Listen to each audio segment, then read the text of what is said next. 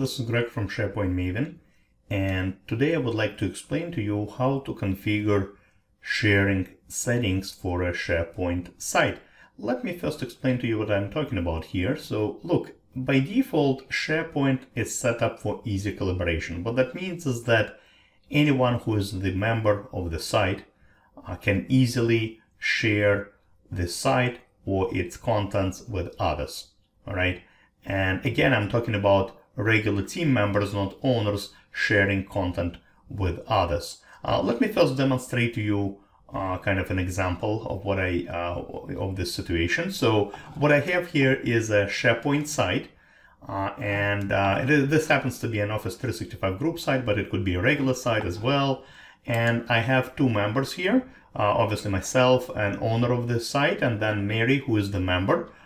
So Mary, from SharePoint standpoint, Mary is in this group over here in the site members group. Uh, which means you know that Mary has edit privileges, which means that Mary can add, edit, delete uh, content on this site.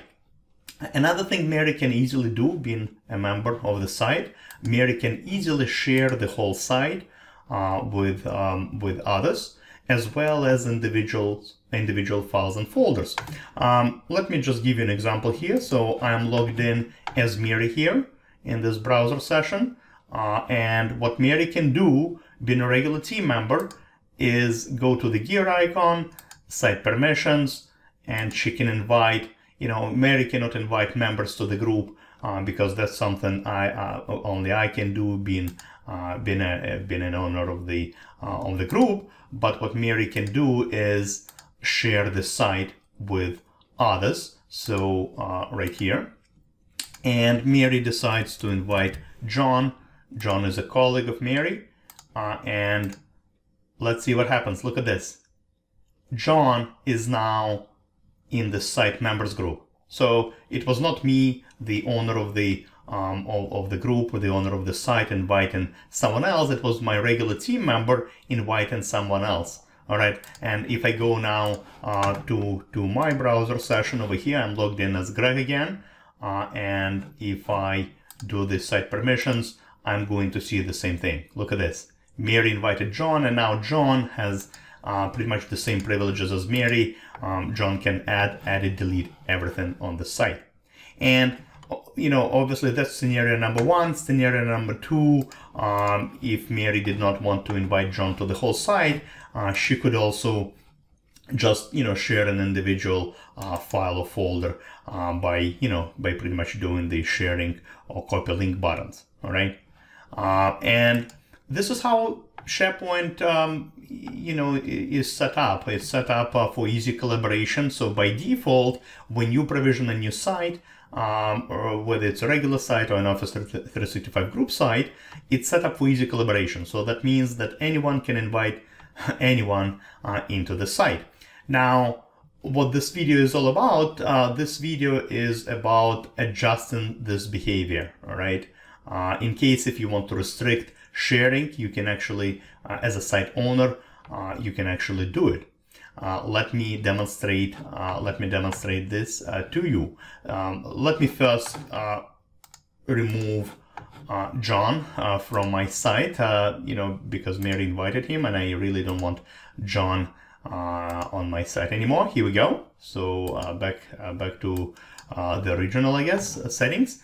Um, so um, let me first show you how you as a site owner can, can adjust or kind of prevent this behavior. Uh, if you go to the gear icon and click on site permissions, and of course, you need to, to, to be logged in as a site owner, right? Uh, this is not the functionality that's available to, um, to regular site members. You will see this section over here called under sharing settings called change sharing settings. And this is a relatively new screen that we have now. The functionality that you see here is not new. All right, we had this functionality uh, for many, many years. Uh, in the past, just to show you, just to show you uh, how we used to adjust sharing settings in the past. In the past, you had to go to advanced permissions and you had to click on, this is of course the classic kind of um, looking uh, screen and then you had to also click on access request settings and over here uh, this is where you would adjust uh, the pretty much the behavior and prevent either the site sharing or file or folder sharing uh, you you could uh, enable or disable access requests all of this is now possible from that you know screen I showed you previously. Uh, pretty much you you know you no longer need to go uh, kind of to the back end to this classic screen to adjust that. This is how we used to do it. Uh, but again, if you now go to um, gear icon, uh, site permissions, here we go, and under change sharing settings, you will pretty much see the same choices just in the modern uh, kind of look and feel you know format. All right, and um, if you read over here, I mean, this is where you can uh, kind of adjust the behavior of the um, of the sharing settings. So by default, if you notice, uh, it tells you over here, site owners and members can share files, folders, and the site. All right, so pretty much by default, uh, it's Wild West of sharing. Everyone can invite others into the site files and folders. All right, what you can do though is you can adjust this behavior. Um, you can kind of choose this middle option where uh, members and owners can still um, uh, you know share the, um, the the files and folders, but only site owners will be able to share the whole site. So if we choose this option, we will pretty much prevent uh, Mary from inviting John into the whole site, but Mary will still be able to invite, um, you know, share a particular file or folder with John.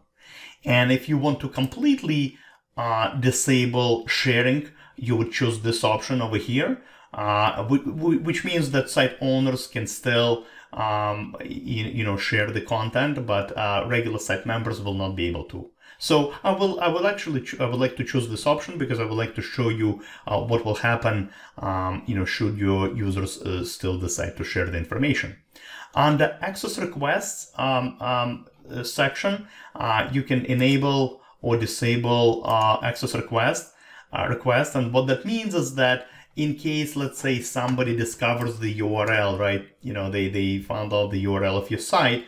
Uh, when they um, when they make it to this URL and they are not part of your uh, site, uh, they will obviously get access denied uh, message. Uh, but what you can do if you enable this um, this option on, if you allow this option to be enabled, what that means is that there will be um, there will be kind of a message uh, on, on, that uh, access denied screen uh, asking them to um, you know send you an email um, uh, and uh, what will happen is if they click on that um, you know if they send you a request to join the site um, you you as a site owner will get uh, the email um, message with the with the either approval or rejection of the request. So it's kind of a graceful way, right? Instead of the user encountering the access denied message and nothing else, it's just a kind of a nice way uh, from end user standpoint to um, to request access. And of course, as a site owner, you can either uh, approve that request or reject it. And, and then if you do allow, um, if you do allow um, access requests, uh, you can actually specify who the email, right? Uh, who the email um, will, will be sent to, and you can actually specify even a, a custom message, um, you know, kind of saying what will happen after they submit the access request. And you can specify a specific email address, uh, who the access request will go to, or by default, it will go to all the accounting owners um, I'm sorry, not accounting, all the site owners. Um, uh, this just happens to be the name of my of my site. Uh, so essentially, the, the request will be sent to, to anyone who is the admin uh, of the site, in case if we have multiple uh, owners. All right, so let's leave it at that. I'm going to pretty much disable sharing altogether, as you can see, and I'm going to save this. All right, perfect. So I adjusted my sharing settings. Let me show you what will happen now, if Mary decides to still share the site, remember, I uh, so I'm logged in as Mary over here. I uh, disabled sharing altogether. So now let's see what happens when Mary decides to invite uh, John into the site. So now this doesn't mean that she will not be, as you can see, Mary can still get to all these different buttons. I mean, she can still, you know, the share button does not go away. Uh, but now if I invite John, So look at this, nothing happened. You see? Remember last time when I did this? Uh, let me repeat it again. Uh, I typed in John, um, you know, John's email address. Here we go. Uh, John's name. Here we go. Click add. Nothing happens. All right, John is not part of the site um, automatically like he used to be. So now remember, I prevented file and folder sharing as well. So if now uh, Mary decides to share, let's say this file uh, with uh, someone else, uh, look at this. First of all, it grays out the the other type of link, right? People in your organization link, because uh, what you know, essentially, it kind of restricts now um, the access to the users who already have access uh, to this to this site, to this content. All right. Uh, so that's why we don't even have this option. Now, if Mary decides to still specify the, um, you know, John and, you know, use this type of link specific people, let's see what happens. So here we go. Mary is trying to share this file with John. Let's see what happens. Look at this. It comes up, this, er, this uh, message comes up, uh, sharing pending approval. So essentially, it doesn't totally prevent uh, Mary from sharing the um, you know the the, the file with uh, with uh, with John, uh, but because we kind of disabled it for regular team members, uh, an email is been sent to to the approver, me in this case because I'm the site owner, and uh, I will get an email where where I can either approve or reject Mary's request. All right. So as you can see, um, as a site owner you you have um, kind of this flexibility in terms of adjusting the uh, the sharing settings uh, for your site. And this is a really nice feature um, nice feature in case if you need to restrict um, uh, to restrict sharing uh, for your site. Maybe for obvious reasons you have some confidential content and you kind of want to prevent uh, you know sharing um, um, intentional or unintentional by your team members all right, so uh, hopefully you learned something new today. As always, um, uh, thank you for your attention and uh, I hope to see you again on my YouTube channel as well as my blog, sharepointmaven.com. Thank you very much and have a great rest of the day. Goodbye.